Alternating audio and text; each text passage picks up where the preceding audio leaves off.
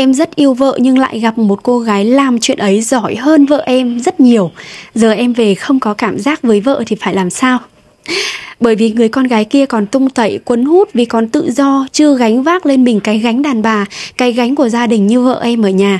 Chính vì không phải chịu quá nhiều áp lực cho nên trong chuyện ấy cô gái này cũng sẽ thoải mái hơn, mạnh mẽ hơn, quyết liệt hơn. Còn với vợ em ở nhà đôi khi cái áp lực lại chính là cái thứ khiến cho cô ấy bị giảm ham muốn hoặc là không mặn nồng trong chuyện ấy.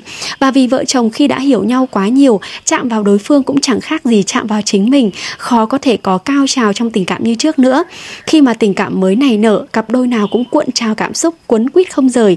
Nhưng một khi tình cảm đã nguội dần thì chúng ta sẽ quay trở về với một vòng luận quẩn. Không lẽ cứ suốt ngày em đi tìm kiếm những cô gái làm tình giỏi hết người này đến người khác hay sao? Nếu cứ như vậy thì sớm muộn gia đình cũng tan nát.